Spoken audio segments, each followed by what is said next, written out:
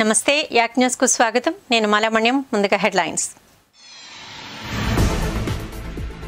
PM award రేసులో GVMC ముందంజ.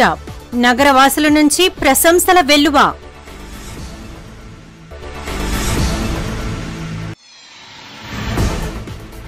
Beach రోడ్లో ఘనంగా జాషువా జయంతి. అక్షర యోధునిగా కీర్తించిన వక్తలు.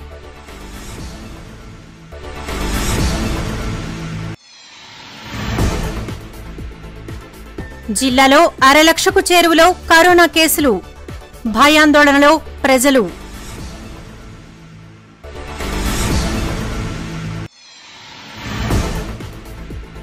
జనావాసాల మధ్య సెల్ టవర్ తొలగించాలి. శతాబ్ది నగర్ వాసుల ఆందోళన.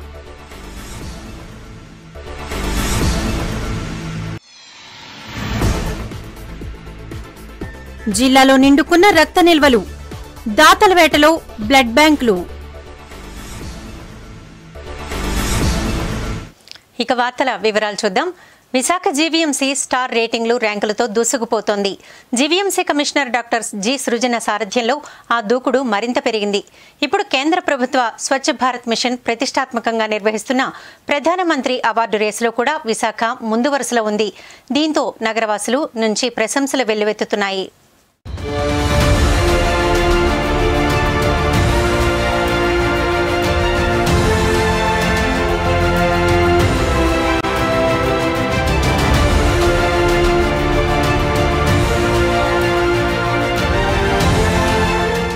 జీవీఎంసీ కమిషనర్గా డాక్టర్ సృజన గత సంవత్సరం జూన్ నెలలో బాధ్యతలు చేపట్టారు.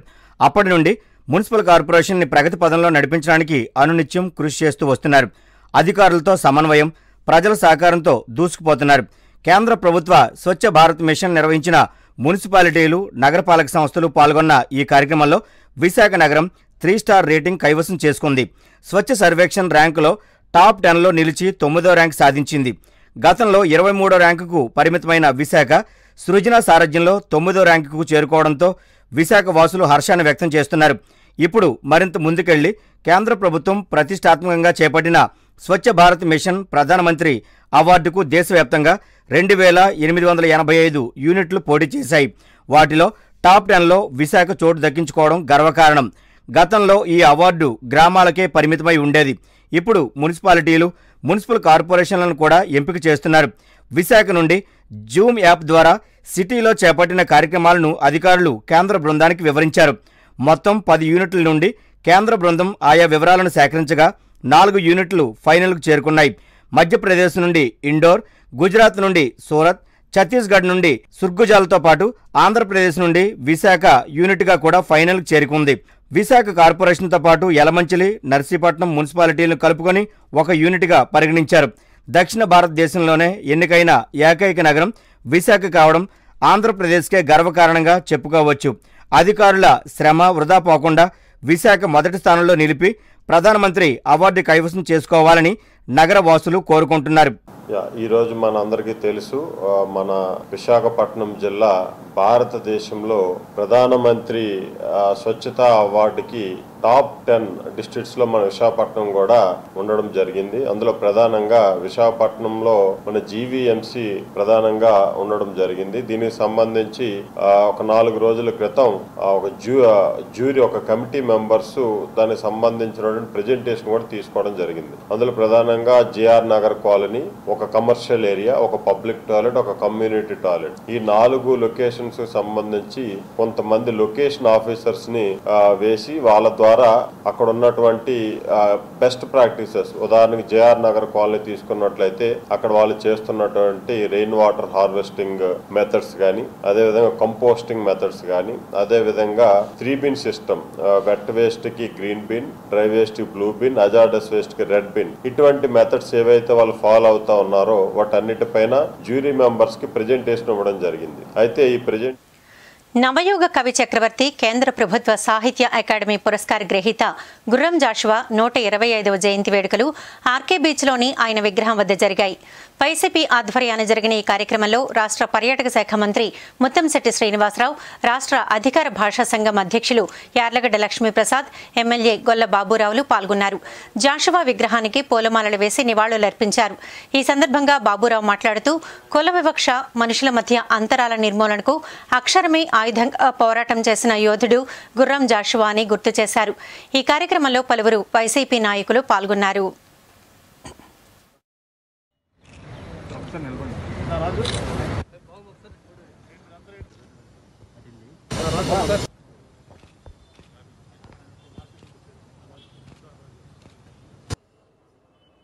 జాషువా గారు నూట ఇరవై ఐదో యొక్క జయంతి ఉత్సవాలు మన ఆంధ్రప్రదేశ్ ప్రభుత్వం గౌరవ ముఖ్యమంత్రి శ్రీ జగన్మోహన్ రెడ్డి గారి యొక్క ఆశీస్సులతో రాష్ట్రంలో ప్రతి చోట ప్రభుత్వమే కాదు నాయకులు ప్రజలు అలాగే కవిత్వాన్ని నిజంగా ప్రేమించేటువంటి ప్రతి ఒక్కరూ కూడా ఈ ఈ యొక్క జయంత్యుత్సవాల్లో పాల్గొని బ్రహ్మాండమైనటువంటి ఒక చక్కటి వారికి కానుక ఇచ్చేటువంటి ఈరోజు నేను నాకు చాలా సంతోషంగా చాలా ఆనందంగా ఉంది. నేను కూడా ఒక ఒక ఒక దళిత బిడ్డగా మరి నిజంగా పద్దెనిమిది వందల తొంభై ఐదో సంవత్సరం సెప్టెంబర్ ఇరవై ఎనిమిదో తారీఖున పుట్టినటువంటి గుర్రం జాషువా గారు ఆ రోజుల్లో ఉన్నటువంటి కుల వివక్ష అలాగే సమాజంలో ఉన్నటువంటి అంతరాల మధ్య నలిగి ఎంతో ఎంతో కష్టాలు పడి వారు వారి యొక్క అక్షరాన్నే ఆయుధంగా తీసుకుని ఆయుధంతో పాటు వారు ఎన్నో కష్టాలు పడి ఈ రోజున గొప్ప ఒక కవిగా అలాగే వారు రాసినటువంటి గ్రంథాలు ముఖ్యంగా మరి మీ అందరికీ తెలుసు. ఫిరదౌసి అలాగే గబ్బిలం అలాగే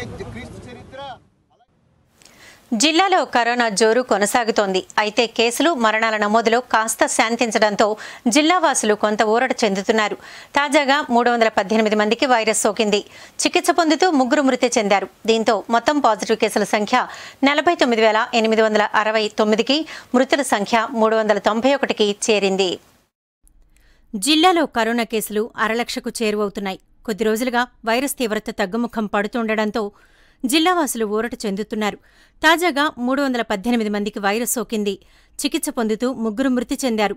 దీంతో మొత్తం పాజిటివ్ కేసుల సంఖ్య నలభై తొమ్మిది వేల ఎనిమిది వందల అరవై తొమ్మిదికు మృతుల సంఖ్య మూడు వందల తొంభై ఒకటికు చేరింది.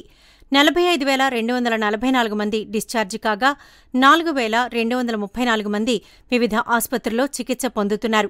కొత్తగా మన్యంలో ఇరవై ఐదు ఆరిలోవలో ఆరు సబ్బవరం పద్మనాభంలలో రెండు చొప్పున కేసులు నమోదయ్యాయి. జనావాసాల మధ్య రిలయన్స్ టవర్ను వెంటనే తొలగించాలని శతాబ్ది నగర్ కాలనీ వాసులు డిమాండ్ చేశారు. దీనిపై స్థానికంగా నిరసన తెలిపారు. ఓ ఇంటిపై నిర్మించిన టవర్ వల్ల దుష్పరిణామాలు ఎదురవుతున్నాయని కాలనీ వెల్ఫేర్ అసోసియేషన్ అధ్యక్షుడు జీహెచ్ఎస్ఎన్ రాజు స్థానిక టీడీపీ నాయకులు దాట్ల మధు ఆందోళన వ్యక్తం చేశారు. ఈ సందర్భంగా వారు మాట్లాడుతూ ప్రశాంత వాతావరణం కోసం ఈ ప్రాంతంలో ఇళ్ళు నిర్మించుకుని అనేక మంది ఉద్యోగులు రిటైర్డ్ పర్సన్స్ నివాసం ఉంటున్నామని తెలిపారు. టవర్ నుంచి విడుదలయ్యే రేడియేషన్ ప్రభావంతో వృద్ధులు పిల్లలు గర్భిణీలు మహిళలకు అనారోగ్య సమస్యలు వస్తాయని వెంటనే దీన్ని తొలగించాలని డిమాండ్ చేశారు. ఇంతమంది కూడా టోటల్ మ్యాక్సిమం ఎంప్లాయీస్ సెక్టర్ మేమంతా ప్రశాంతంగా బతకడం కోసం టౌన్ నుంచి దూరంగా వచ్చి ఇక్కడ ఇరవై సంవత్సరాల క్రితం ఇల్లు కట్టుకున్నాం ఇంతవరకు ప్రశాంతంగా ఉన్నటువంటి ఈ వాతావరణాన్ని రేడియేషన్ కలగజేయడానికి వ్యాపారులు ప్రత్యేకించి రిలయన్స్ సంస్థ రిలయన్స్ జిగో జియా గిగో ఫైబర్ అని ఇప్పుడే చెప్పారు. ఒక త్రీ డేస్లోనే చాలా ఫాస్ట్గా సెల్ టవర్ని ఒక రెసిడెంట్ మేడ మీద నిర్మించడం జరిగింది. ఆ విషయం మాకు ముందుగా తెలియలేదు. ఎవరు కింద బోర్డు అది ఏం పెట్టలేదు. అందువల్ల ఎవరికి తెలుసుకోలేకపోయాం. అది జరుగుతున్న నిర్మాణం ఏం జరుగుతుందో కూడా తెలియకుండా ఎలాగ అభ్యర్థన చేస్తామండి? ఇప్పుడు ఈరోజు ఉదయం మాకు ఆ విషయం టవర్ కంప్లీషన్ అవడంతో ఏంటంటే జియో గిగా ఫైబర్ అని ఇప్పుడు చెప్పారు. దీన్ని మేము అందరమే రెసిడెన్షియల్ అసోసియేషన్స్గా మొత్తం నాలుగైదు కాలనీలు సరౌండింగ్లో ఉన్నట్టు అందరూ కూడా తీవ్రంగా వ్యతిరేకిస్తున్నాం. కాలుష్యం లేకుండా ఏది లేకుండా బతికిన ఏరియా మాది. ఇప్పుడే కరోనా నైన్టీన్ తోటి ఏదో విధంగా అయిపోతున్నప్పుడు ఇంకా మాకు వేరే తీసుకొచ్చి తీసుకురావడానికి ఎక్కడ టవర్ లేదు. మాకైతే ఈ టవర్లో వేసుకోవాలంటే మాకు అందరికీ ప్లేస్లు ఉన్నాయి. మాకు రెంట్లు వస్తాయి. ఇంకా మంచి ప్లేస్లు ఉన్నాయి మాది. మా సొంత ఏరియా కాబట్టి మేము ఇచ్చుకోగలం. కానీ ఎవరిని ఇబ్బంది పెట్టకూడదు అని చెప్పి ఉద్దేశంతో ఇప్పుడు వచ్చి మేము ఎవరిని మేము అందరం అనుకోని ఎవరి మటుకు అనుకోని ఇప్పుడు వచ్చి ఇవ్వలేదు.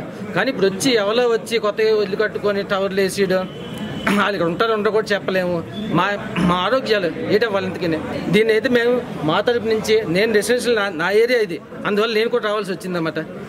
అందువల్ల నేనే కాదు ఎన్ఏ లేఅవుట్ కానీ లక్ష్మీనరసింహ నాయుడు కానీ శతాబ్ది నాడు కానీ రత్నగిరి నాడు కానీ ఇదే ఐటీ ఫీస్ సుజాత ఐటీ ఫీస్ రోడ్ కానీ మొత్తం అందరూ ఖండించారు అనమాట ఖండిస్తున్నారు అనమాట ఇది చాలా తప్పు ఎంతకని జీవీఎంసీ అధికారులకు ఎలాగ ఎంతకని జీవీఎంసీ వాళ్ళకి బుద్ధి లేదు వాళ్ళకి ఎంతకని బ్లడ్ బ్యాంకులో నిల్వలు నిండుకున్నాయి. కరోనా నేపథ్యంలో దాతలు ముందుకు రాకపోవడమే ఈ పరిస్థితికి కారణం. సాధారణంగా వేసవిలో ఇలాంటి పరిస్థితి నెలకొంటుంది. కరోనా కారణంగా కళాశాలలు ప్రారంభం కాకపోవడమే ఈ పరిస్థితికి కారణమని నిర్వాహకులు చెబుతున్నారు.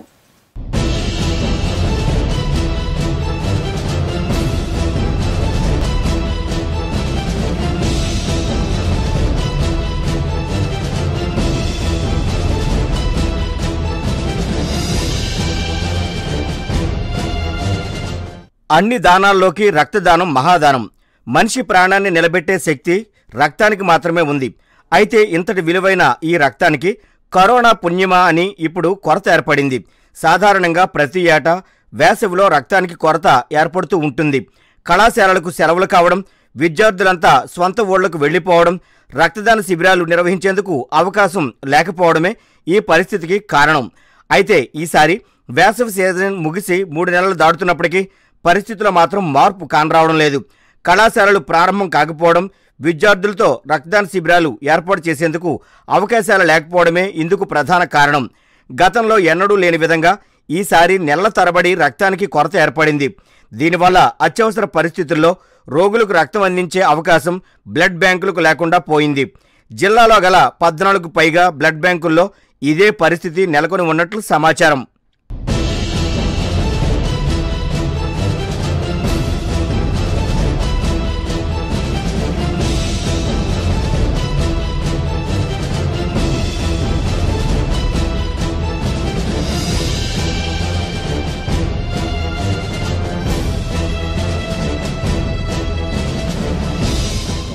జిల్లాకు పద్నాలుగు పైగా బ్లడ్ బ్యాంకులు ఉండగా మహావిశాఖలో పది వరకు ఉన్నాయి. మహావిశాఖ పరిధి బ్లడ్ బ్యాంకుల్లో కరోనాకు ముందు ఒక్కో బ్లడ్ బ్యాంకుకు నెలకు ఎనిమిది వందల నుండి పదిహేను వందల యూనిట్ల వరకు రక్తం సమకూరేది. కళాశాలలు పనిచేయడంతో విద్యార్థులు స్వచ్ఛందంగా రక్తదానానికి ముందుకొచ్చేవారు. అవసరానికి తగ్గ రక్తాన్ని ఇవి సరఫరా చేయగలిగేవి. ఎందరో ప్రాణాపాయం నుండి బయటపడేవారు. కరోనా పుణ్యమా అని ఇప్పుడు ఆ పరిస్థితి అయితే లేదు.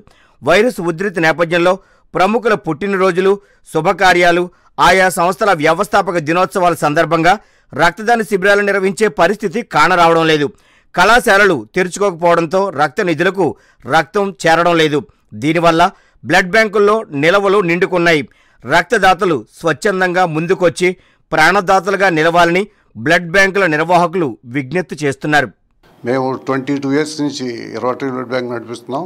మాది twenty four hours three six five days నడిపే అతి కొద్ది బ్లడ్ బ్యాంక్ మాది ఒకటి అండి అది. ఈ కోవిడ్ టైంలో అందరూ కూడా చాలా ప్రాబ్లం ఫేస్ చేస్తున్నారు బ్లడ్ దొరక్క. దీనికి ప్రధాన కారణాలు ప్రజల్లో ఉన్న భయం అపోహలు. అంటే అసలు బయటకు రావడానికే భయపడుతున్న ప్రజలు బ్లడ్ ఇవ్వడానికి అసలు ముందుకు రావట్లేదు. సో దాంతో మేము అన్ని రకాలు కూడా ప్రజల్ని వాళ్ళని ఎడ్యుకేట్ చేసి వాళ్ళని వాళ్ళని అవేర్నెస్ తీసుకురావడానికి మ్యాక్సిమం ట్రై చేస్తున్నాం. అయినా సరే ప్రజల్లో ఈ భయం అపోహలు ఎక్కువగా ఉన్నాయి. సో మా బ్లడ్ బ్యాంక్ తరఫున రిక్వెస్ట్ చేసేది ఏంటంటే ప్రజలు ధైర్యంగా ముందుకొచ్చి బ్లడ్ డొనేషన్ చేయొచ్చు. ఎందుకంటే ప్రైవేట్ కార్పొరేట్ స్కూళ్ళ ఫీజులు మొదలైపోయింది. ఇంకా స్కూళ్ళు పూర్తి స్థాయిలో తెరుచుకోకుండానే పేరెంట్స్పై ఫీజుల వేధింపులు మొదలైపోయాయి. కరోనా కష్టకాలంలో ప్రైవేట్ స్కూళ్ళు ఫీజుల దందాకు తెగపడుతుండటంతో పేరెంట్స్ ఆందోళన వ్యక్తం చేస్తున్నారు. అందులో భాగంగా టెంపనీ స్కూల్ పిల్లల పేరెంట్స్ ఆ స్కూల్ గేట్ ఎదుట ఆందోళనకు దిగారు. కరోనా కష్టకాలంలో ట్యూషన్ ఫీజులు మాత్రమే కట్టించుకోవాలని ప్రభుత్వం స్పష్టమైన ఆదేశాలు జారీ చేసినప్పటికీ దాన్ని పట్టించుకోకుండా పూర్తి ఫీజు కట్టాలంటూ తమ సెల్ ఫోన్లకు టెంపనీ యాజమాన్యం మెసేజ్లు పంపిస్తున్నారని తల్లిదండ్రులు వాపోయారు.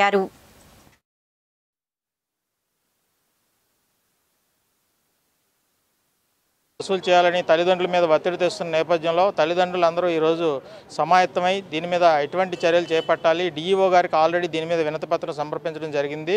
ఆ మేరకు డిఈఓ గారు దీని మీద స్పందించి ఒక నోటీసును కూడా ఇష్యూ చేయడం జరిగింది. కోవిడ్ నేపథ్యంలో అందరూ కూడా తీవ్రంగా నష్టపోయిన నేపథ్యంలో మరి తల్లిదండ్రులందరినీ కూడా మానవతా దృక్పథంతో ఆలోచించి పాఠశాలలు ఫీజులు తగ్గించాలని చెప్పి ఎప్పటి నుంచో ప్రభుత్వం కూడా దీని మీద జీవో కూడా జారీ చేయడం జరిగింది. అయితే జీవో కానీ అటువైపు మన డిఈఓ గారు ఇచ్చినటువంటి సూచనలు కానీ ఎటువంటివి కూడా పట్టించుకోకుండా విద్యా సంస్థల యాజమాన్యాలు మొండి వైఖరితో పూర్తిస్థాయి ఫీజులు చెల్లించాలని చెప్పి విద్యార్థులు తల్లిదండ్రుల మీద ఒత్తిడి తెస్తున్న నేపథ్యంలో విద్యార్థులందరూ విద్యార్థులు ఇబ్బంది పడతారనే ఉద్దేశంతో తల్లిదండ్రులు కూడా కొంతమంది వారు తమకు ఏం జరుగుతుందో అనే భయాందోళనలో వారందరూ కూడా పాఠశాల యాజమాన్యాలను సంప్రదించడం జరుగుతుంది. ఈ నేపథ్యంలో మా పేరెంట్స్ అసోసియేషన్ అందరూ కూడా ఒకటే చెప్తున్నామండి. ఏదైతే ఈ కోవిడ్ సందర్భంగా నష్టపోయారో తల్లిదండ్రులు అందరూ కూడా వారికి సరైన విధంగా విద్యా సంస్థలు కూడా తమ వంతు బాధ్యతగా ఓన్లీ ట్యూషన్ ఫీజు ఏదైతే గవర్నమెంట్ నిర్ధారించిందో ఆ ట్యూషన్ ఫీజు మాత్రమే వసూలు చేయాలని చెప్పి మేము డిమాండ్ చేస్తూ ఈరోజు డిఈఓ గారు కూడా ఈ విషయంలోని సరైన రీతిలో స్పందించలేని పక్షంలో కొన్ని పాఠశాలల మీద క్రమశిక్షణ చర్యలు కూడా చేపట్టడం జరిగింది. పాఠశాలను కూడా సీజ్ చేశారు. మరి అటువంటి తెలుసుకొని పాఠశాల యాజమాన్యాలు ముందుకెళ్ళాలి. ఇటీవల వింత వ్యాధితో అనంతగిరి మండలం కరకవలస గ్రామానికి చెందిన నలుగురు గిరిజనులు మృతి చెందారు. మరో ఇరవై నాలుగు మంది చికిత్సకై కేజీహెచ్లో చేరారు. ఈ వ్యాధిని వైద్యులు న్యూట్రిషనల్ బెరిబెరీగా పేర్కొన్నారు. దీనిపై ఉత్తరాంధ్ర అభివృద్ధి వేదిక ప్రజారోగ్య వేదిక ప్రతినిధులు మరింత సమాచారాన్ని తెలుసుకునేందుకు ఆ ప్రాంతంలో పర్యటించారు. ఆ వివరాలను హెచ్బీ కాలనీ ఎల్ఐసి క్వార్టర్స్లో ఏర్పాటు చేసిన మీడియా సమావేశంలో ఉత్తరాంధ్ర అభివృద్ధి వేదిక కన్వీనర్ అజయ్ శర్మ వెల్లడించారు. కలుషిత జలం తాగడం వల్లే ఈ వింత వ్యాధి ప్రబలినట్లు ఆయన తెలిపారు. ఆ ప్రాంత గిరిజనులకు మంచినీటి సదుపాయం కల్పించాలని అలాగే రవాణా ఇతర మౌలిక సదుపాయాలు కల్పించాలని గిరిజన శాఖ మంత్రికి లేఖ రాసినట్లు తెలిపారు. పంచాయతీలో కరకవాల్స్ అనే గ్రామంలో మధ్యకాలంలో నలుగురు గిరిజనులు చనిపోయారు. మరో ఇరవై నాలుగు మంది విశాఖపట్నం కేజీహెచ్లో చికిత్స కోసం చేరారు. మేము వాళ్ళని కేజీహెచ్కి వెళ్ళి చికిత్స పొందిన వాళ్ళని పరామర్శించి అక్కడ డాక్టర్లతో కూడా మాట్లాడడం జరిగింది. డాక్టర్లు చెప్పింది వీళ్ళు చనిపోవడానికి కానీ చికిత్స పొందడానికి కానీ వాళ్ళు చెప్తున్నటువంటి కారణం ఏంటంటే వీళ్ళు ఒక వింత వ్యాధి జబ్బు ఒకటి వచ్చింది వీళ్ళకన్నారు ఏమిటా జబ్బు అంటే న్యూట్రిషియల్ బెరిబెరి అని వాళ్ళు ఇంగ్లీష్లో పేరు పెట్టారు. అదే తెలుగులో ఎందుకు వస్తున్నాయా అంటే ఇది పౌష్టికాహార లోపం వల్ల వచ్చేటువంటి జబ్బుది అందువల్ల దానికి ఏదో వైద్యం అది చేస్తున్నారు వాళ్ళకి కొంతమంది రికవరీ అది స్లోగా అవుతున్నారు. అందువల్ల అసలు ఏమిటి పరిస్థితి నీదేంటి పౌష్టికాహార లోపడం ఏంటి ఇదంతా చూద్దామని ఆ గ్రామం పరిశీలనకు వెళ్ళాము పంచాయతీకి. పరిశీలనకు వెళ్తే అక్కడ వాళ్ళు నీళ్ళు మంచినీళ్ళు రక్షిత మంచినీరు ఏం లేదు. ఒక ఓట గుంట ఒకటి ఉంది. ఆ గుంటలో దొరికేటువంటి నీళ్ళే వాళ్ళకి మంచినీళ్ళు. అందువల్ల ఈ దుర్భరమైనటువంటి పరిస్థితుల్లో గిరిజనులు ఉంటున్నారు కానీ కాబట్టి మేము గిరిజన శాఖ మంత్రి గారు పక్కనే ఉంటున్నాం. ఇది విజయనగరం జిల్లా బాగా దగ్గర ఈ గ్రామాలన్నీ ఆవిడ కూడా విజయనగరం జిల్లా కుటుంబం ఎమ్మెల్యే కాబట్టి ఆవిడకి గిరిజన శాఖ మంత్రి కూడా పుష్ప శ్రీవాణి గారు ఆవిడకి లేఖ ఒకటి రాసాం ఈ సమస్యలన్నీ ఆవిడ దృష్టికి తీసుకొచ్చి వీటన్నిటిని తక్షణం పరిష్కారం చేసేటువంటి చర్యలు చేపట్టుకొని ఆవిడకి ఆవిడ లెటర్ కోసం ఆ రకంగా ఆ నిర్దిష్టమైనటువంటి చర్యలు తీసుకోవాలని ప్రభుత్వం డిమాండ్ చేస్తాం గానగంధర్వుడు ఎస్పీ బాలసుబ్రహ్మణ్యం సంతాప సభ ఏయు హెచ్ఆర్టీ సెంటర్ సమావేశ మందిరంలో జరిగింది. వైజాగ్ ఫిల్మ్ సొసైటీ ఆధ్వర్యంలో జరిగిన ఈ కార్యక్రమంలో సెంచూరియన్ యూనివర్సిటీ వైస్ ఛాన్సలర్ ఆచార్య జిఎస్ఎన్ రాజు ముఖ్య అతిథిగా పాల్గొన్నారు. బాలు చిత్రపటానికి పూలమాల వేసి నివాళులర్పించారు ఈ సందర్భంగా విఎఫ్ఎస్ అధ్యక్షుడు నరవ ప్రకాష్ మాట్లాడారు. ఐదున్నర దశాబ్దాలుగా పదహారు భాషల్లో నలభై ఒక వేలకు పైగా గీతాలు ఆలపించి జనహృదయాలలో సుస్థిర స్థానం పొందిన సినీ నేపథ్య గాయకుడు బాలసుబ్రహ్మణ్యమని పేర్కొన్నారు. ఆయన మృతి చిత్రసీమకు పెద్ద లోటన్నారు. బీచ్ రోడ్లో ఆయన విగ్రహాన్ని నెలకొల్పాలని సింహాచలంలో ఆయన పేరిట మ్యూజియంను ఏర్పాటు చేయాలని విజ్ఞప్తి చేశారు. చాలా దురదృష్టం. మరి అతను లేని లోటు ఎవరు తీర్చలేరు. బాలసుబ్రహ్మణ్యం గారిలో ఉన్నట్టు గొప్పతనం ఏంటంటే మనం ఎక్కడున్నా ఎంత ఎదిగినా ఒదిగి ఉండాలి అనే సూత్రం తూచా తప్పకుండా ఆయన జీవితకాలంలో పాటించిన వ్యక్తి బాలసుబ్రహ్మణ్యం గారు. అటువంటి మహానుభావుడిని రీప్లేస్ చేయడానికి ఇంకెవరో ఉంటారా అనేది ఆశపడడం కూడా తప్పే. సుమారు యాభై రోజులు ఆయన ఈ కరోనాతో పోరాడి పోరాడి పోరాడి చివరికి ఆ కరోనా ఆయన్ని తీసుకెళ్ళిపోవడం జరిగింది. మరి ఆయన ప్రపంచవ్యాప్తంగా ఉన్నటువంటి తెలుగువారు కానీ లేకపోతే ఎవరైనా ఏ పదహారు భాషల్లో మాట్లాడి సుమారు నలభై రెండు వేల పాటలు పాడినటువంటి వ్యక్తి మన ఆంధ్రప్రదేశ్కి చాలా గర్వించదగిన వ్యక్తి. అటువంటి మహానుభావుడిని ఒకసారి శ్రద్ధాంజలి చేసుకుంటూ వైజాగ్ ఫిల్మ్ సొసైటీ తరపున ప్రభుత్వాన్ని మూడు కోరికలు కోరుతున్న ఒకటి ఆయనకి వచ్చే జాన్యువరిలో ఆయనకి భారతరత్న ఇవ్వాలని. ఆయన విశాఖపట్నంతో అనుబంధం ఎక్కువ ఉంది. ఇక్కడే ఆయన సింహాచలం దేవస్థానంలోనే పెళ్ళి చేసుకోవడం జరిగింది. ఆయన బంధువులు స్నేహితులు అందరూ కూడా వైజాగ్లో ఉన్నారు. ఆయనకు గుర్తుగా ఆర్కే బీచ్లో ఆయన విగ్రహాన్ని నెలకొల్పాలని. మూడోది ప్రధానంగా జూన్ ఐదో తారీఖున ఆయన జన్మదినం. మరి ఆ సందర్భాన్ని నాలుగు నాలుగో తారీఖు ఆయన జన్మదినం. ఆ సందర్భాన్ని పురస్కరించుకొని మన ఆంధ్రప్రదేశ్ గవర్నమెంట్ గాయకుల దిన దినోత్సవం అని చెప్పి ఒక డిక్లేర్ చేస్తే ఆయనకి నిజమైన నివాళి అర్పించినట్టు అవుతుంది. ఆయనకి ఎంత చేసినా చాలా తక్కువే. ఎందుకంటే ఆయన గొప్పతనం అటువంటిది. అటువంటి మహానుభావుడికి అసన్నయనాలతో వైజాగ్ ఫిల్మ్ సొసైటీ సభ్యులందరూ ఆయనకి శ్రద్ధాంజలి ఘటిస్తూ ఆయన ఫ్యామిలీకి శాంతి కలగాలని అట్లాగే ఆయన ఆత్మకు కూడా శాంతి కలగాలని కోరుతున్నాము నవయుగ కవి చక్రవర్తి కేంద్ర ప్రభుత్వ సాహిత్య అకాడమీ పురస్కార గ్రహీత గుర్రం జాషువా నూట ఇరవై ఐదవ జయంతి వేడుకలు యాభై ఐదు బార్ జాషువా నగర్లో జరిగాయి. ఈ కార్యక్రమానికి YCP north convener KK Raju ముఖ్య అతిథిగా హాజరయ్యారు. జాషువా నగర్ సంక్షేమ సంఘం అధ్యక్ష కార్యదర్శులు Prasad Adinarayana ward YCP corporator అభ్యర్థి శశికళ మాజీ కార్పొరేటర్ కొప్పుల వెంకట్రావులు జాషువా విగ్రహానికి పూలమాలలు వేసి నివాళులర్పించారు. ఈ సందర్భంగా కేకే రాజు మాట్లాడుతూ జాషువాను నవయుగ కవి చక్రవర్తిగా ఆయన కీర్తించారు. ఆయన రచనలో సృజనాత్మకత భావనాశక్తి సాక్షాత్కరిస్తాయన్నారు. ఆ నిజమైన స్వాతంత్రం వచ్చినట్టు ఆ రోజు మహాకవి శ్రీ గుర్రం జాస్వా గారు అంటే మనం చాలామంది కవుల గురించి ఉన్నాం. గుర్రం జాస్వా జాస్వా గారి యొక్క రచనలన్నీ కూడా కేవలం సమాజ నిర్మాణం కోసం సమాజంలో ఏ అయితే అసమానతలు ఉన్నాయో రుగ్మతలు ఉన్నాయో ఆ రుగ్మతల్ని పారదోలటం కోసం ప్రజల్లో చైతన్యాన్ని తీసుకొచ్చి ముఖ్యంగా బహుజనుల యొక్క అభ్యున్నతి కోసం ఈరోజు మానవులందరూ సమానమే. భారతదేశంలో ఉన్న జాతి అంతా కూడా భారత జాతి అని చెప్పుకునే విధంగా అసమానతల్ని తారతమ్యాలని ప్రాలదోలి అందరూ అభ్యున్నతి కోసం అందరిలో చైతన్యాన్ని నింపే విధంగా ఆయన రచనలు మనందరికీ తెలిసిన విషయమే. ముఖ్యంగా ఇలాంటి మహాకవి గుర్రం జాసువా జాసువా గారి యొక్క చరిత్రని ఆయన రచనల్ని కూడా ఈరోజు ఈ సమాజానికి తెలియజేయాలి. వారిలో ఉన్న ఆలోచన శక్తిని ఆనాటికున్న పరిస్థితుల్లో ఆయన ప్రజల జీవనం కోసం ప్రజల్లో చైతన్యాన్ని నింపడం కోసం ఎలాంటి ఆయన ఆయనకున్న కళంతో ఎలాంటి చైతన్యవంతాన్ని కవితలు రాశారు వాటన్నింటినీ తెలియజేయాల్సిన అవసరం ఉంది. ముఖ్యంగా ఈరోజు ఆంధ్రప్రదేశ్ రాష్ట్రంలో గౌరవ ముఖ్యమంత్రి వర్యులు వైఎస్ జగన్మోహన్ రెడ్డి గారు ముఖ్యమంత్రిగా ప్రమాణ స్వీకారం చేసిన తర్వాత గతంలో ఏ నాయకులు ఏ పాలకులు కూడా గుర్తించినట్టు విధంగా గుర్రం జాసువా జాసువా గారు లాంటి మహాకవుల్ని ప్రముఖుల్ని ఈ సమాజం గుర్తించాల్సిన అవసరం ఉంది. వారు ఈ సమాజ నిర్మాణం కోసం బడుగు బలహీన వర్గాల వారి అభ్యున్నత కోసం నిండు మనసుతో ఎన్నో సేవలు చేశారు. వారి సేవలను గుర్తించుతూ వారిని గౌరవించాల్సిన అవసరం ఉందని ఈరోజు జగన్మోహన్ రెడ్డి గారి జాసువా గారి నూట ఇరవైవ జయంతిని ప్రభుత్వం ద్వారా ఈ రాష్ట్రంలో ఉన్న ఆంధ్ర యూనివర్సిటీ పీజీ కోర్సులో ప్రవేశానికి ఉద్దేశించిన ఏయుసెట్ ఏయుఈఈటీ షెడ్యూల్ విడుదలైంది. వచ్చే నెల పదమూడు పద్నాలుగు పదిహేను తేదీలో ఈ పరీక్షలు జరగనున్నాయి. యూనివర్సిటీ డైరెక్టరేట్ ఆఫ్ అడ్మిషన్స్ ఈ విషయాన్ని వెల్లడించింది. అభ్యర్థులు వచ్చే నెల ఐదు నుంచి హాల్ టికెట్లు డౌన్లోడ్ చేసుకోవచ్చు. విశాఖపట్నం శ్రీకాకుళం విజయనగరం కాకినాడ రాజమండ్రి ఏలూరు విజయవాడ గుంటూరు నగరాల్లో పరీక్షా కేంద్రాలు ఏర్పాటు చేస్తున్నారు. కోవిడ్ నేపథ్యంలో ఈ ఏడాది ధ్రువపత్రాల పరిశీలన కౌన్సిలింగ్ ప్రక్రియలను ఆన్లైన్ పద్ధతిలో నిర్వహించనున్నారు.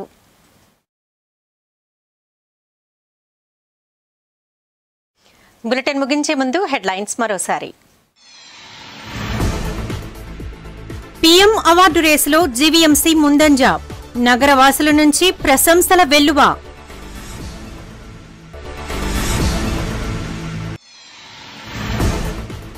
బీచ్ రోడ్లో ఘనంగా జాషువా జయంతి. అక్షర యోధునిగా కీర్తించిన వక్తలు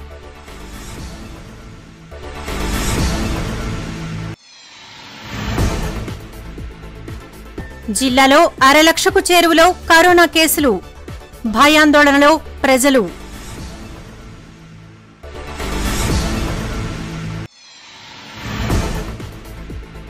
జనావాసాల మధ్య సెల్ టవర్ తొలగించాలి. శతాబ్ది నగర్ వాసుల ఆందోళన.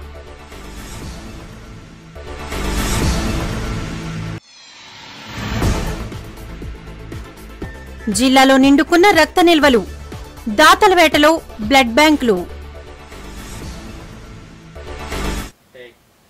యాక్ న్యూస్ ఇంతటితో సమాప్తం. Stay connected